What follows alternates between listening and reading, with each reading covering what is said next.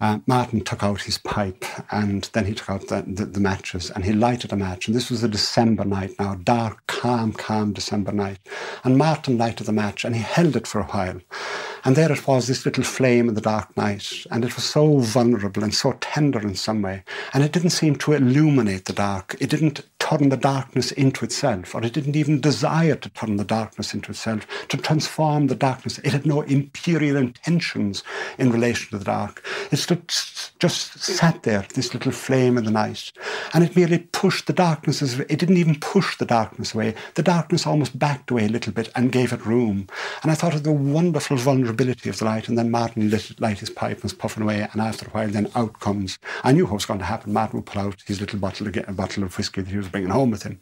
So he started drinking that, and um, I haven't, I've had a few drinks of that. Then Martin said, "You, Hammy, killed John. Now, not K I L L E D at all, but K I L T. You, Hammy, killed John. You, Hammy, killed. You're a grand man and a fine man, and you're a great neighbour, and we're delighted. We're delighted to have you living where you live in below there amongst us. But you, Hammy, killed. Yes, you've guessed it. You're back at the altar of County Kerry's meandering mystic, Babaji himself, John Moriarty, Ireland's major Swami, seer, and sadhu, whose books, recordings, and radio programmes made such an impact in Ireland in the 1990s, but who is sadly less celebrated now. His gorgeous way of describing things in threes, the magic number in so many cultures, reminds me of a story he tells of a friend in Connemara describing a woman. And he said, wasn't she, was talking about a girl then in the bar who'd sung songs, you know, and wasn't she a fine girl and a grand girl and a mighty girl? Do you know, in the old days, in the Fianna Finiach, on Fariga, Fad Luim, Luim Dainik, you can't just say, it is ungenerous to say that a, a young a woman is a grand girl. Christ, you have to go on and on and on. She's a grand girl and she's a fine girl and she's a mighty girl and she's the Lord save us, tisn't from the wind she took. It wasn't her father, a mighty man, her grandfather, and they're all grand people. And that song she sung, John, wouldn't you stand naked naked in the snow listening to it.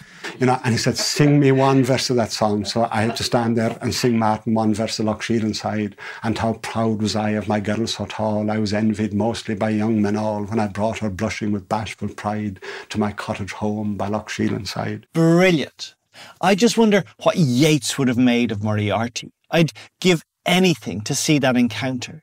Would he have thought he had stumbled upon an actual druid, had him plucked, stuffed, and mounted in the National Museum? But my feeling is that in this, the fourth episode of this mini series, we're ready for some deeper Moriarty material. How would you feel if I dropped a solid four minute piece on you? Four, maybe five minutes of soaring, searing, circuitous Moriarty meanderings about crookedness in a world of the straight edged slide rule. I think you can handle it. If you got this far on this aural journey with me, I'm confident you're going to sail through. Though, if you are just joining, jumping on raw and uninitiated, you may want to track back a bit through earlier episodes. Don't let me be the boss of you. It's entirely your own affair. If you feel you can handle it, even without the precursors, you're entirely welcome to stay with us here on the journey with Guruji, with the great Swami Moriarty, Ireland's Ram Dass, our very own Terence McKenna. To set the scene, he's been talking about his time working, washing dishes in Ballynahinch Castle in Connemara, and how he saw a local handyman who wasn't known for his neatness laying a bit of non-slip flooring in the kitchen to make it safer for staff. Moriarty begins to judge the man's work, thinking it wasn't straight, that he wasn't using his slide rule correctly. And that set him thinking about his own straightness and his crookedness. If someone were to put that slide rule to me, I'd say, yes, of course I'm crooked. I am crooked. I can see. By the slide rule with which you measure me, I am crooked. But it isn't me that's wrong, it's the slide rule that's wrong. I'm on top of the Rada Hill, am And I'm looking down in this wonderful crooked world. And I'm looking at the crooked Owenmore River and I think of the Jesus. It's, it, it, it, falls down the side of five different mountains and then it, it congregates into and coheres into Ina, Inagh Lake and then it comes through a little gorge and it comes down into Derryclare Lake and then it comes through another little river and Uh, a river runs out of that and runs into Banhinch Lake and then flows down in front of my house, but it flows down by the road and it's everywhere. It is pitched from one bank to another and it's broken against this rock and it's broken against that rock and it's a great stiff-necked turbulent river when there's a lot of when there's been three nights or three days of rain uh, in the mountains. And but always after coming out of the great brokennesses of its fords um, of its rocky of its rocky beds it coheres into a wonderful mirroring. There it is again and all its woundedness is healed in a new pool. And sometimes a salmon will leap in that pool and you see the rings spreading out to both banks. And sometimes like I'm walking walking up the road and I see that mirroring the sky and it's mirroring the birds and it's mirroring Petey Welsh, it's mirroring Petey Welsh's sheep and it's mirroring me, even though I can't see that it's mirroring me because I would need to be on the other bank to see me being mirrored. But then again, it, it goes another direction and it's a very crooked river, but sometimes but always it is making its way down to the great ocean. Whereas for all its straightness, the Royal Canal, the Lord save us, the Royal Canal leaves Dublin only in order to end up in Mullingar. You know, and why would anyone want ever to leave Dublin only in order to end up in Mullingar? Or the engineered straight roads of the, the autobahns in Germany, they leave, you leave Dusseldorf only interrupt, end up in Frankfurt and Main. And the Lord save us, why would anyone ever want to leave Dusseldorf only in order to end up in Frankfurt and Main? So with all our engineered straightness, I mean, the modern world where we eliminate, we rationalize everything, we eliminate all these contra uh, contradictions. But maybe it is true that I mean, without without contraries, without contradictions and contraries, there is no growing. So I'm up on Dorada Hill and I'm thinking of that voice that says, Make straight the way of the Lord. And I'm looking at the Owenmore River and I'm thinking of Bill Joyce's answer. This is a lovely old castle, John. It's a lovely old place. And in lovely old places like this, the only good way to cut anything straight is to cut it crooked. And now I'm up in this wonderful crooked world, and I think it's beautiful. Connemara is beautiful because of its crookednesses. I mean, people don't so often go to Meath with all its flatness and Kildare with all its flatness and the Curragh with all its flatness. It's the very crookedness of Connemara somehow that that, that is part of its giftedness. I'm up on Dorada Hill and I'm thinking of Bill Joyce's answer. I'm looking at the Owenmore River and I'm saying to myself, echoing Bill, this is a lovely old world, John. It's a lovely old world. And in lovely old worlds like this, maybe, maybe, and I'm only saying maybe, I'm not being dogmatic here now, I'm saying maybe, maybe the only good way to be straight in this world is to be crooked, giftedly crooked, to accept your crookedness, giftedly crooked, marvelously crooked in the way that the Owenmore River is crooked. As a Christian, I can inherit that crookedness because I know now, looking down in the Owenmore River, that all, for all its crookednesses, it is going down into the bliss of self-loss in the divine ocean. And when it comes into the ocean, the ocean is going to say, did you come a straight way? Were you a royal canal? Straight in your coming? Did you come straight here? Or did you come a crooked way here? The ocean, I think, will just open out its, its vastness and let the Owenmore River, that we all are in some sense, you put a slide rule to the Owenmore River and you put a tourniquet to its growing and it sounds, should the Lord save us, it's crooked. But it isn't the Owenmore River that's, that's, wrong, it's the slide rule that's wrong. And to turn the Owenmore River into a, a canal would be an awful shame. So all the time it's making its way, to make a long story short, it's a lovely old world, John.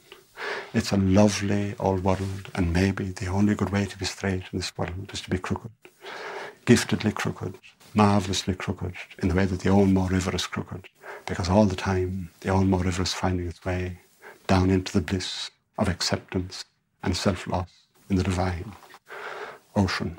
Okay, I want to take you back to the last episode, where you might remember Moriarty decided to walk away from his old life, to start afresh. And then, as soon as he left, he began to get cold feet. Here, here's a snippet from that chat, just to, to jog your memory. So I walk up the road. I have walked out now. I walk up the road. I am poor in spirit now. I'm poor externally and poor inwardly now, poor doctrinally and poor materially. And I walk up the road, having given all, having let all that I am or have fall to the ground. And five miles up the road, there's a thin wind blowing, and I think, Christ, have I really walked out? And I'm wondering, must I now never again worry where the night falls on me or where the day breaks on me? Where the night falls on me now or where the day breaks on me must not be a concern of mine. I must no longer ever concern myself with this now. But there's a thin wind blowing as, as, as I walk, continue to walk out. So I'm, I'm wondering, can I call my own bluff now? Have I actually walked out?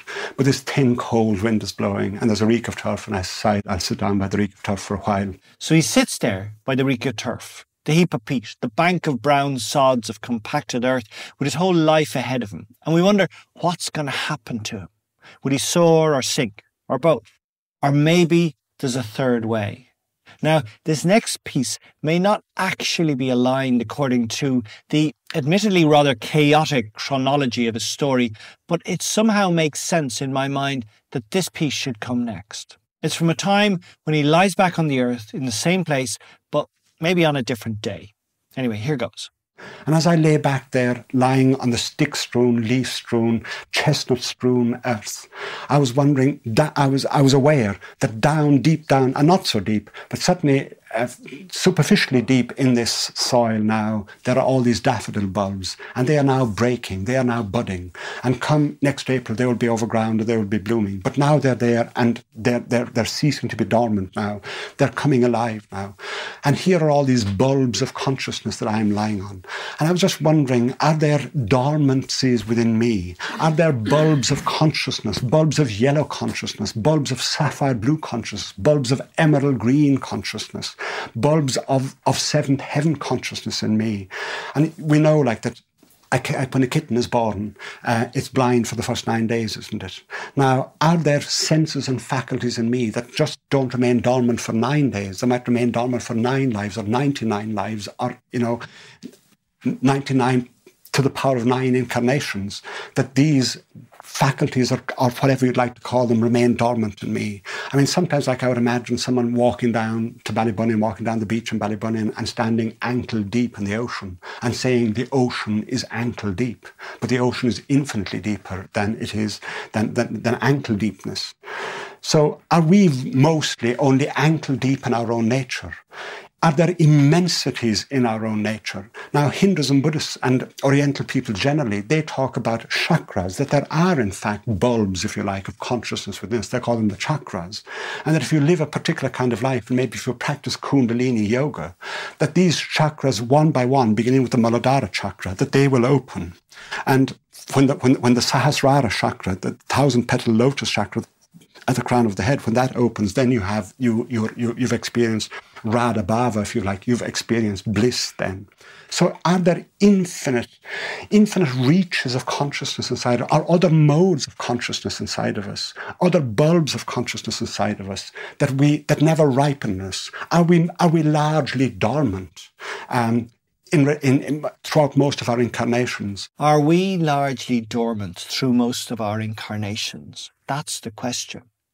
God, Moriarty would have been great on TikTok. He would have had followers and worshippers from here to, I don't know, to Timbuktu. His problem was that he was ahead of his time. And like every good guru or sadhu, he didn't have a clue how to edit himself, when to stop, how to shape his wisdom into bite sized nuggets of brilliance. I'm going to leave you with one final piece an encounter John had with a traveller woman who knocked at his door. Now, there's so much I want to say about this piece, but there's really no need to say anything at all. No lame editorializing by me is going to add any additional light or worth to his account. I'll just leave it with you for what it's worth. You've been listening to the Bog Prophet Manchán on Moriarty. As with the three previous episodes, I urge you to check out more of his work if you've caught the bug in any way. There's a wonderful biography titled Not the Whole Story by his close friend Mary McGillicuddy. As well as his own books, his radio programs, recordings, there's also an illuminating profile documentary, Dreamtime Revisited, by Donal O'Kelleher, available from Anu Pictures. And Lorna Hill's Conversations with My Godfather, which you can see on YouTube. There's also an increasingly large gathering of Moriarty material being amassed at the John Moriarty Institute for Ecology and Spirituality, which can be found at www.johnmoriarty.ie. Anyway, Shine Mochidse Gafoilin, that's my lot for the moment. Toge Gaboge, take it handy. Here, I'm going to leave you with John telling you one more story for the road? Sometime in the late afternoon, it was a November day, a grey November day in Connemara. I had a brisk clip clop of hooves coming down the road, and I looked out as they drew nearer. I looked out the window, and there was five gypsy caravans moving beautifully past my window, and there was a lovely, lovely motion in their moving as they moved past, and I knew where they were going. This wonderful colour now has come into the to the to the townland, and they were going up to the commonage just beyond the well field. So this was a quiet, quiet day, Sunday afternoon in Connemara, but now there was great colour in the village and there was great life in the village. Um, there, was, there, was a, there was a feast for hearing and seeing in the village because up the road now I could hear the, the, the young gypsies shouting and crying and baying and fighting and ponies neighing and dogs barking. So there was great life in the village. And uh, after a while I had a knocking at my door and I said, come in and the door opened and there was a woman dressed in a tartan shawl and i don't know whether i was half hallucinating or what i was doing i wasn't actually but um, there was an immense radiance it was a woman but she was dressed in this tartan shawl and it was like a wonderful radiance standing there in the door. And she said, Good evening, Your Honour. And I said, Good evening to you. Come in. And she came in. And we were talking. And but there was most of my mind and most of my psyche was trying to find a name for what was standing in my door and for what, for what had, the, the reality that had come through my door. And you know, sometimes your, your mind is doing two things at once. You're actually, the surface part of your mind is talking to the woman, but at the deeper levels and at other levels, I was trying to find a name for her because this was, there was some kind of need to name her. And because I'd been thinking about chakras and inner immensities of the time and the opening of chakras, opening of these other kinds and types of consciousness, suddenly, um, almost without seeking it, I found myself saying, the woman standing at my door is dressed in the shawl of all our chakras.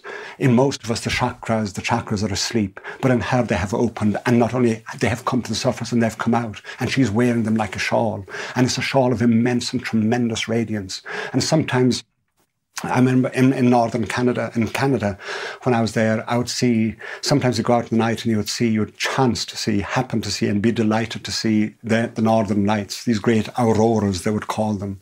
Um, you know, these great curtains of light, the northern lights moving there across the sky. And um, you but you would say these are cosmic external auroras, but there are also auroras of soul, auroras of inwardness. Mostly they are so far away that we aren't aware of them. And sometimes I imagine that the people who built Chartres Cathedral, they were building soul auroras. There is soul in us, and those soul can put on an immense display.